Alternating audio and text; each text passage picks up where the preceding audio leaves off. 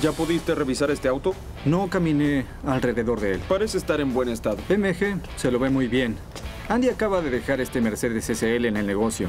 Consiguió esta cosa por poco dinero en una subasta y su plan es que nosotros lo reparemos y le pongamos una carrocería nueva para luego hacerle algo de dinero. Cuando esta cosa esté terminada se verá como si fuera otra máquina. Vamos a reemplazar las placas de metal del exterior. Me refiero a todo, capó, luces, parrilla, frente, parte posterior y los laterales. El auto está en buen estado por ahora. Todo lo que le revisamos se ve muy bien, por lo que creo que él podrá sacar buen dinero. Se lo ve muy limpio por dentro. Los relojes se ven un poco extraños. Observando el interior del auto encuentro algunas cosas que se ven sospechosas, por lo que comienzo a preocuparme. ¿Sin batería? Es posible.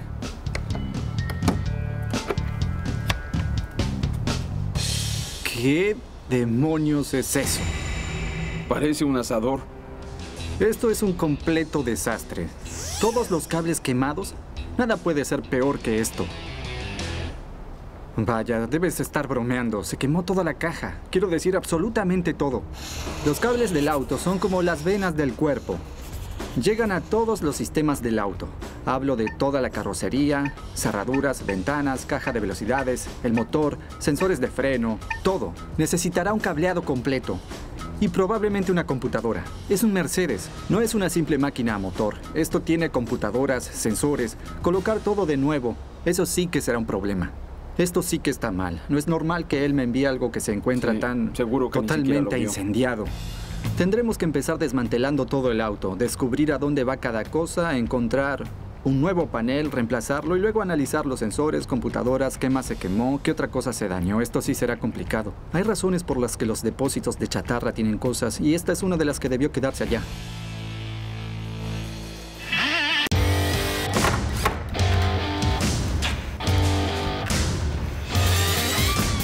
Tommy y los muchachos trabajaron muy duro para transformar este pedazo de basura en un Mercedes que cualquiera querría tener. Llegó la hora de vender esta cosa. Muy bien, amigo, aquí está.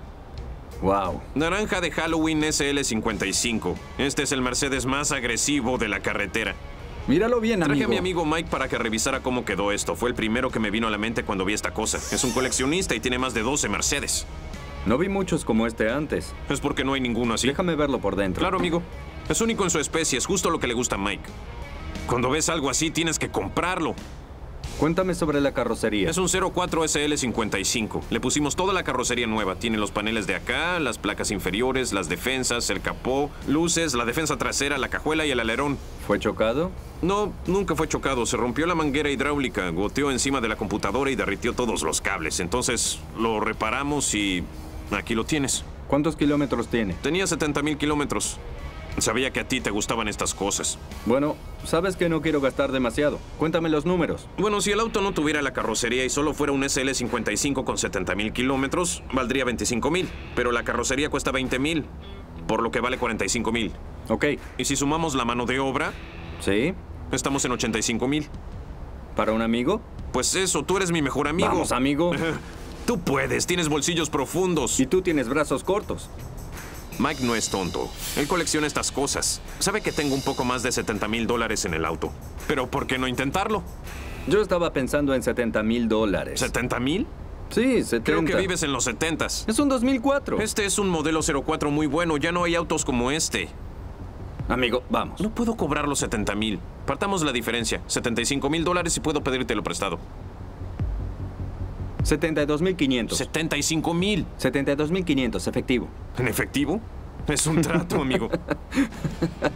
No hice mucha diferencia porque es uno de mis amigos e hizo un gran negocio. Me alegra dárselo a él. Sé que me lo prestará cuando se lo pida. ¿Qué tiene de malo el amor entre amigos? Oye, creo que tienes razón. Es un gran No es, veamos los documentos. Estupendo.